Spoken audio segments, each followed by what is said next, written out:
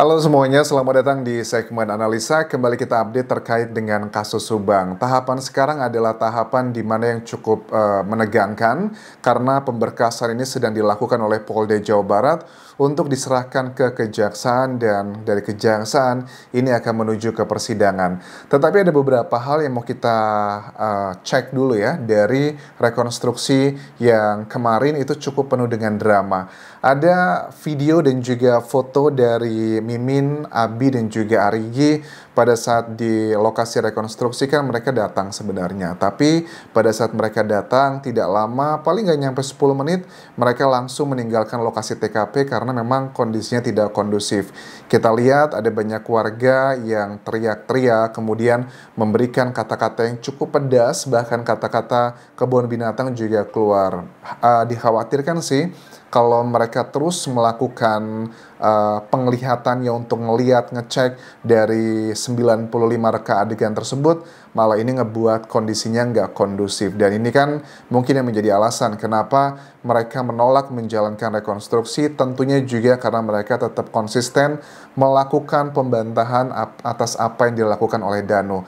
Lantas teman-teman juga tanya, bagaimana dengan Yosef? Yosef kan juga terlihat dia melakukan beberapa adegan atau reka adegan yang itu kan versi Danu. Artinya apakah uh, itu sudah menerima?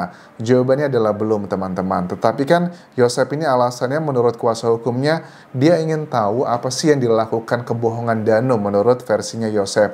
Tapi kalau kita ngomong soal kebohongan atau enggak, ada beberapa kejanggalan yang sangat luar biasa selama dua tahun lebih kita mengawal kasus ini. Pertama, ada beberapa rekaman ya video yang sudah aku dengarkan dari sejumlah youtuber yang berada di Jawa Barat sana bahwa Yosep ini termasuk yang selalu memberikan narasi kepada media ataupun juga youtuber bahwa saksi kuncinya dari kasus ini adalah Danu.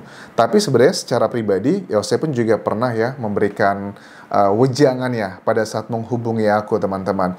Yosef bilang bahwa pokoknya Bang Anjas yang harus dikejar terus adalah Danu. Saya itu curiga Danu itu dengan misalnya disebut adalah nama Kosasi dan juga Wahyu. Mereka ini adalah uh, pekerja di yayasan yang jabatannya sebagai kepala sekolah atau wakil kepala sekolah saat itu. Tetapi kan ternyata dua nama tersebut tidak ada uh, disebutkan oleh Polda Jawa Barat tetapi hanya ada Danu. Tapi kenapa Yosep dulu itu sering sekali menyebutkan ketiga nama tersebut? Kemudian juga beberapa pertanyaan waktu Danu dan juga Yoris masih satu tim dan juga terlihat sangat dekat. Ada yang bertanya ke Pak Yosep, Pak, kalau seandainya Danu ditetapkan sebagai tersangka gitu dulu ya sebelum ada penetapan sekarang. Kemudian kalau Yoris terbawa bagaimana? Katanya ya tenang aja sih, aman lah. Yoris mah tidak ada hubungannya dan kalaupun memang ada ya nggak masalah. Uh, tapi saya yakin Yoris tidak terlibat. Intinya yang mau disampaikan pesan adalah seperti itu. Terus bagaimana dengan yayasan? Nah ini juga Yosep itu selalu marah dan juga tegas mengatakan, kenapa sih kok selalu ngebawa yayasan kasus ini? Ini adalah kasus pembunuhan, nggak ada hubungannya sama yayasan. Bahkan aku ingat banget Yosep dulu pernah nelpon ya, memberikan wejangan ke aku juga. Karena aku selalu terbuka dengan semua saksi, silahkan kalau mau menghubungi aku tidak masalah. Aku ingat banget Yosep pernah bilang begini bahwa dulu pernah mengkritik uh, Kapolres Subang Ibu Sumarni mengatakan begini bahwa saya itu Pak Anja, saya itu dulu waktu awal-awal kasus ini terjadi, saya itu dituduh loh sebenarnya. Bahkan uh, mengkritik Kapolres Subang saat itu dikatakan begini, Kapolres Subang saat itu Ibu Sumarni kan dulu dia kalau nggak salah tuh dari KPK, Komisi Pemberantasan uh, Korupsi kan ya.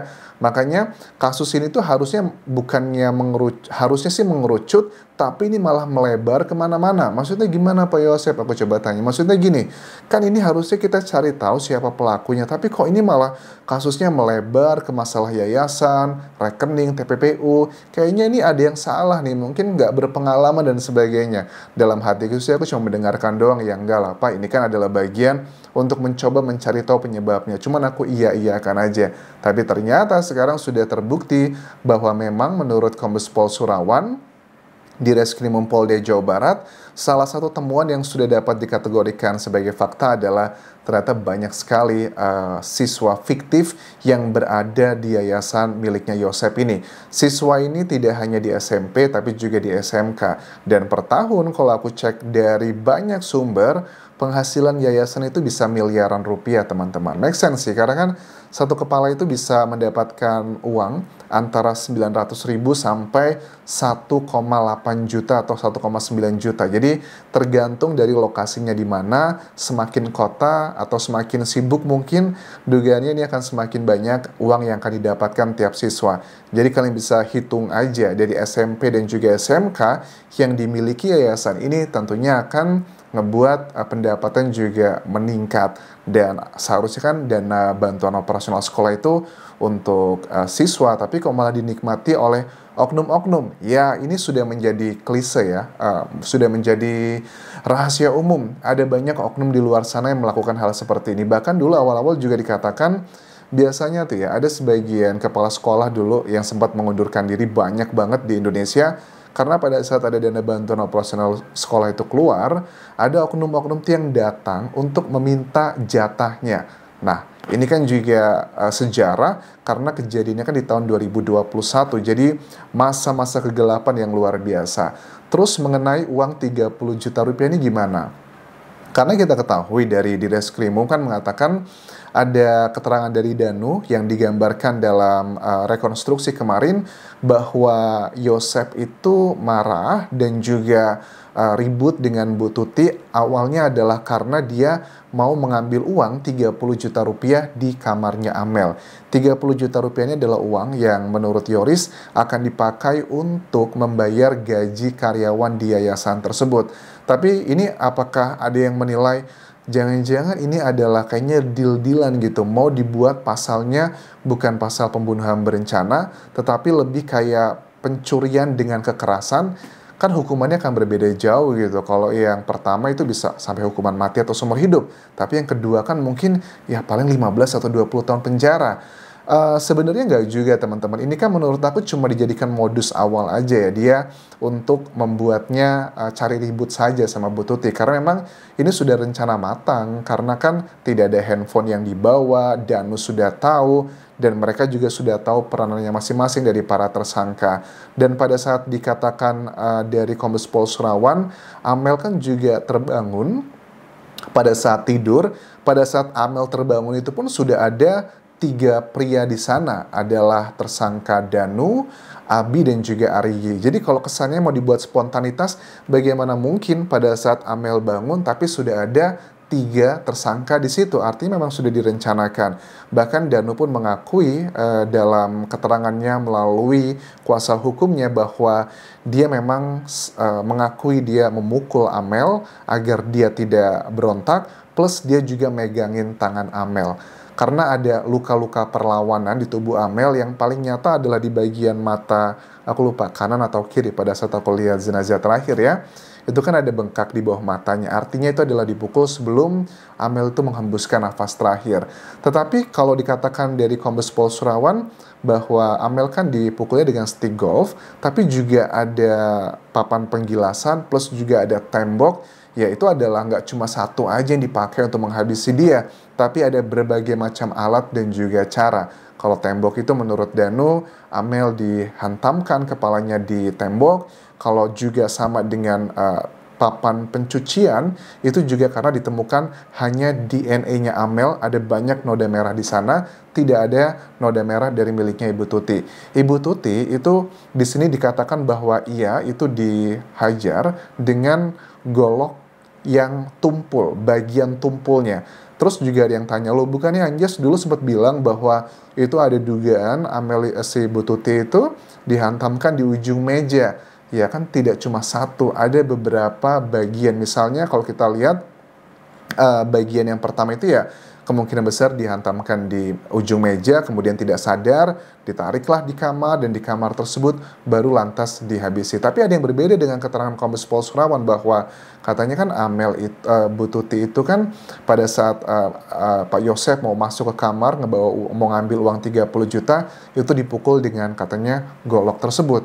Lantas yang betul yang mana? Ya ini adalah masih potongan-potongan informasi, kita akan tahu detail kronologinya adalah pada saat nanti di persidangan. Jadi ya paling tidak adalah walaupun alatnya tidak ditemukan, tetapi tipikal luka ini yang bisa menjadi petunjuk dari keterangan ahli teman-teman.